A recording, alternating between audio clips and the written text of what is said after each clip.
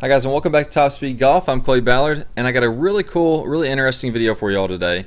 You're used to listening to Frank Nobilo on TV as an announcer, announcing golf tournaments and hearing him talk about the golf swing and what the players are going through. One thing we may forget is that Frank is an unbelievably good player. I actually exchanged a few emails back and forth with him over the last few days. Super, super nice guy and a really good golfer. He demonstrates the five keys to the top speed golf system really, really well. We're going to go over his swing, talk about how this can give you more accuracy, more distance, and you can start playing like this PGA Tour winner and five time European Tour winner. Let's go and get started.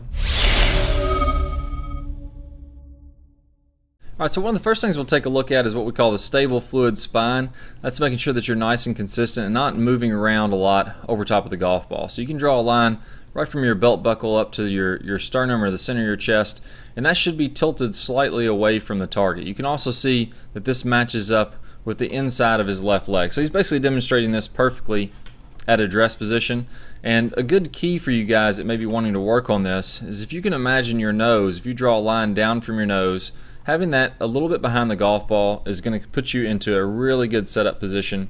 It's going to allow you to be nice and consistent. Now as he swings to the top, he's making a good full rotation away from the ball and we can see that he's loading up on his right side. So one thing that is a little bit of a misconception out there is that we want to keep the head perfectly still in the backswing and the downswing. We'll see that his nose is moved to the right about four or five inches, and that's that's perfectly fine. You're going to see most good players as they load up onto the right side, their head is going to rotate a little bit to the right, and their weight is going to shift to the right, and it's perfectly okay to have your your nose or the center of your head kind of move to the right, going back. And he's in a really good position here too. If we draw a line down from his nose here, we can see that it's on the inside of his right foot, and that's just demonstrating that he's gotten a good weight shift to his right side. We'll also see if we drew a spine angle that it's pretty consistent as to what we saw at address. So he's not getting a lot of swaying or shifting, even though he is getting a weight transfer to the right. As he starts in the downswing, as he shifts to the left, we're going to see this spine angle increase very slightly coming through contact. So this will be about the closest frame we can get to contact. And now if we draw that line kind of from the center of the hips just to try to match up the spine angle again, we're going to see that there is a weight shift to the left, but these three lines from setup, top of the backswing, impact, and even all the way into the finish are really, really consistent and not moving around all over the place. And now you can see that his nose, if you drew a line from there, is going to finish basically centered over the, the front of his left foot. So really, really good, nice swing. He's letting his weight shift both to the right and then to the left in the downswing, but not getting a lot of extra movement. Now the second thing we'll talk about, which is really key to getting distance for any type of player, is making sure that we get loaded up. And one of the things that I actually preferred in some of the, the modern day swings are really getting into like a hip restriction type move, which I think hurts your power. It makes you feel tighter, and especially for players out there that aren't as flexible, really, really start restricting the hips and it limits your shoulder turn. So we're seeing here, we're probably getting, uh, Frank's probably getting, I would say, a 55 degree hip turn if I had to put a number on it. You can see how the left leg is nice and loose. This is something that's kind of you know, I guess I would say has gotten a little bit out of style with Tiger Woods, you know, keeping the, the left leg moving more toward the target going back. But I like this motion because it allows the hips to rotate nice and freely and you're going to feel like you're wound up, but you're not just extremely, extremely tight. So if you feel bound up in the backswing, it's okay to let your hips rotate a little bit more. It's okay to relax this left leg slightly. I mean, if it's good enough for for Ben Hogan, it's probably going to be okay uh, for us too, or players like Jack Nicklaus also. But we can see here as he goes back, 55 degree hip turn as I mentioned. The shoulder turn is a little bit past 90, which is really, really good. Another key after loosening up the hips is to feel like I'm letting my left shoulder rotate back away from the target. I'm letting my right shoulder turn back toward the target. This is called protraction of the left shoulder, retraction of the right shoulder. We don't have to get too scientific with it. But if I can get that rotation, I'm really wound up and I have a lot of potential energy for the downswing. Now he's going to start his downswing by letting his hips start to rotate back behind his body. So if you can kind of imagine the hips rotating back like this, we're going to see him putting some pressure into that left leg as he starts down. So I'll play back and forth for that a few times. And you can see how those hips start to open up. The pressure goes into the left leg. And then as he continues all the way on through, he has a great finish. This is a textbook ideal finish position. Nice high chest, Um, again, the nose is over the front foot, and you can see if I draw a line, you know, basically from the from the ankle to the center of the head, that line is nice and, and, and straight, just slightly leaning back, and his, his chest is nice and high, basically facing up down the fairway. Um, the hips are rotated through the fairway. The, the, the shoulders themselves will actually be facing over to the left rough a little bit, which is great. So textbook ideal position there. That's what we call the power turn in the system, and that's what we recommend you guys are working on, not only loading back, but coming through. So that's the second piece that we would focus on. Nice and stable, good, powerful turn. Now, third piece is lag. And one of the things that I really like about his swing that I think is great for most people to imitate is to get these hands nice and high. I've always been a, a, kind of a proponent of a nice high hand position. You look at a lot of the power players out there, Jack Nicklaus, um, you know, modern day players, whether you're talking about Bubba Watson, who gets the hands extremely high, maybe a little bit um, more than ideal, getting him higher.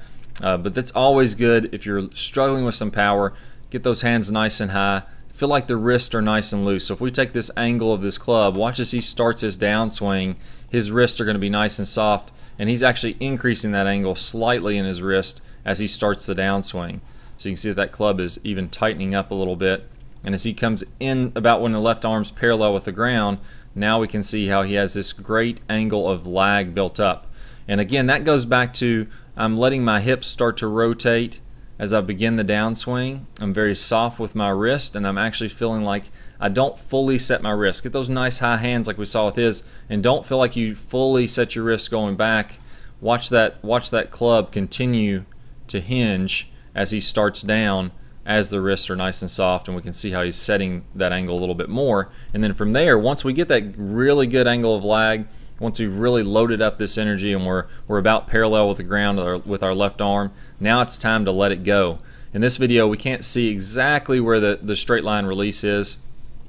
For those of you who aren't familiar with this, what this basically means, uh, if we had a little clearer picture of the club, we'd be able to see this really easily. But the chest, if we were to draw a line kind of 45 degrees out in front in the release, he's taken all these big angles with the forearms and the club. So we'll go ahead and, and show the angles here. There's the club shaft. There's the forearms. As we go a couple more frames down, we can still see that he's starting to release this angle of the, the arms in the club. I'll try to go one more.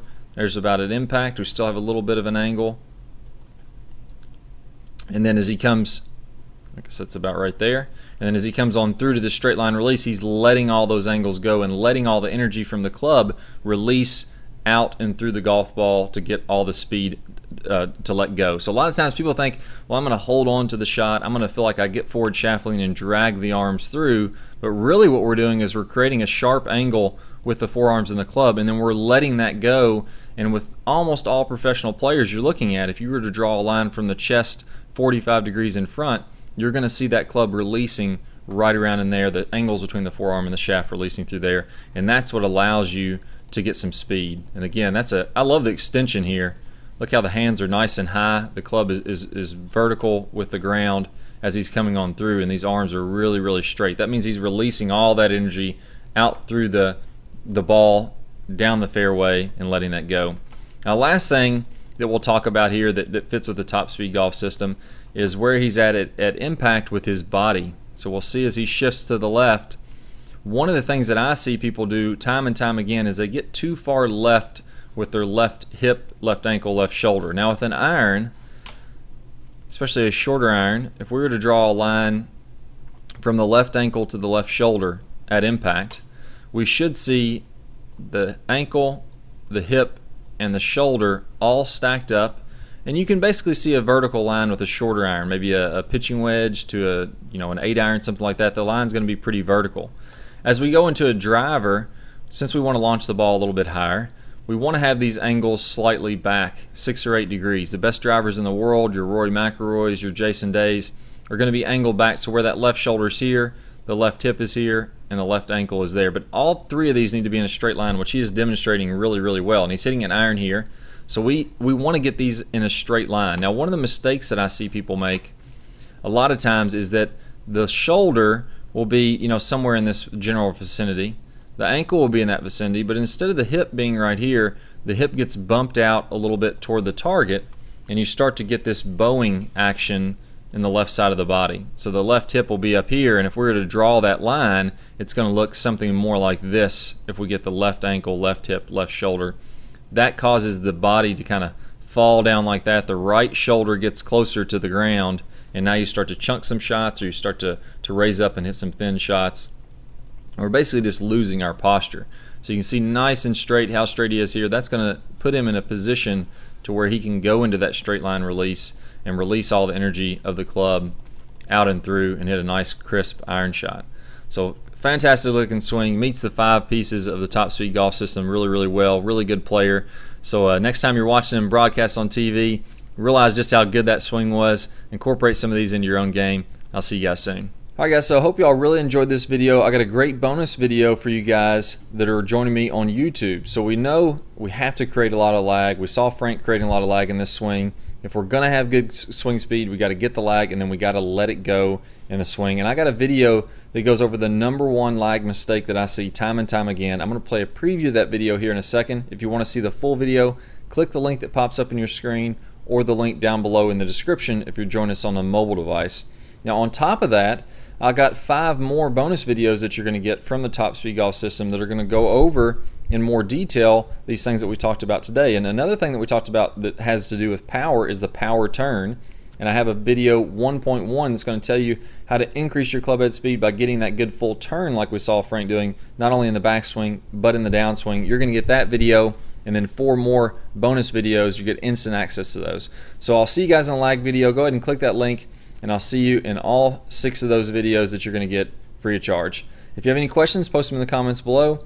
Hit that thumbs up button that helps us to grow the channel, and remember to subscribe. That way you'll see our latest videos. Good luck to you guys. Have a lot of fun out there, and play some good golf. I'll see you soon. Hi guys and welcome back. I'm Clay Ballard and in today's video we're going to talk about one of the absolute worst drills for creating lag. It's a very common drill that I see. And in this drill what we're going to do is we're going to set the wrist very early to create an angle of lag and then we're going to try to hold this throughout the swing. It's one of the worst things that you, can, that you can do to build lag. I'm going to talk about the science behind why this is the case and I'm also going to give you a great drill to help you improve your lag all in this video. Let's go ahead and get started. I do it this way versus holding that position. Exact same thing happens when we're building lag in the golf swing. So what we want to do is throughout the swing I want to have a very low and wide takeaway. So I'm not going to set my wrist early at all. If you look at a lot of the top players, you look at uh, Adam Scott, very wide takeaway, not very much wrist set at all. You look at Rory McIlroy, look at Tiger Woods. All these players are using a wide takeaway and not getting very much wrist set so that later in the swing, as we start down, we can increase this wrist set and we're really only going to max out this angle of lag for a split second in the downswing. Okay, so a three-step drill here. Now, as we get started with this, I want to remind you that the fulcrum in this golf club for getting a massive amount of lag is right at the end of the golf club. This is where I want my hinge point to be. I want to use the full length of this club to build lag and then release lag.